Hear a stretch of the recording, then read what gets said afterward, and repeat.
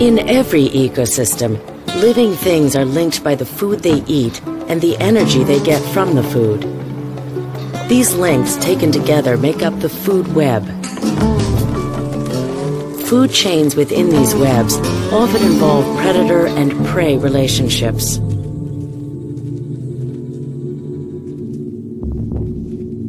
The grasslands of Serengeti National Where on earth you go, living things are connected to each other. From the tiniest of organisms to the largest of creatures, all living things need energy to survive. So, where does that energy come from? Well, matter and energy passes from one organism to another, connecting living things like links in a chain. A food chain. Of course, a food chain is not an actual chain. It's a way to talk about the relationships between organisms and show how matter and energy flow between living things. Every living thing on Earth is part of a food chain, including you, and most things are part of more than one. All of the energy in Earth's food chains comes from the sun. The sun's energy reaches the Earth as light and heat and plants capture some of it and convert it into food through photosynthesis.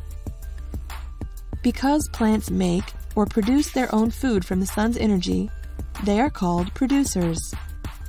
Every food chain must begin with a producer, for example, grass. That's because animals cannot create their own food. They must eat or consume energy from other sources. That's why animals are called consumers. The second link in a food chain is a consumer that eats plants, an herbivore. When an animal eats plants, some of the energy the plant captured from the sun is transferred into the animal's body, where it is used for things like moving, breathing, and growing. An herbivore is called a primary consumer.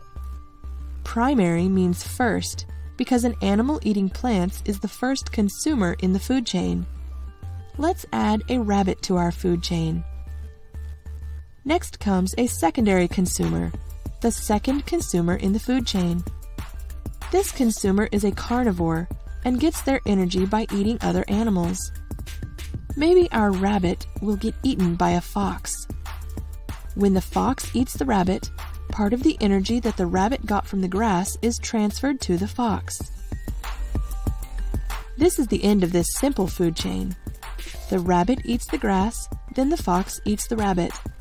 The energy that came from the sun is captured by the grass, transferred to the rabbit, and then transferred to the fox. Some food chains are longer than this one, but there can't be too many links in a food chain. Each animal in the food chain uses up a lot of the energy from the previous level instead of passing it on, meaning that only about 10% of the energy consumed by an animal will be passed on to the next level. Let's take a look at a longer food chain that also begins with grass. This time, let's make our primary consumer a grasshopper. The grasshopper eats the grass and then gets eaten by a secondary consumer, a bluebird. Then the bluebird gets eaten by a tertiary or third level consumer, a snake. The snake is eaten in turn by an owl.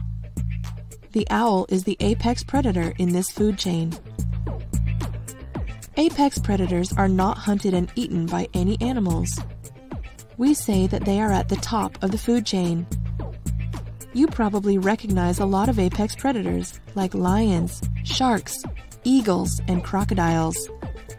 Just because they don't get eaten doesn't mean that they don't contribute to the food chain, however. When an animal dies, their body is broken down by decomposers.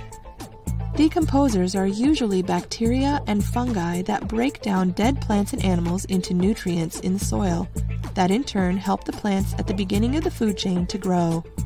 It's the circle of life. Natural ecosystems usually have more complicated food chains, however. A network of interconnected food chains is called a food web. The arrows are used to show which direction the energy flows and help keep track of the connections between organisms. Now that you understand a little bit more about food chains, see if you can find the connections between living things around you.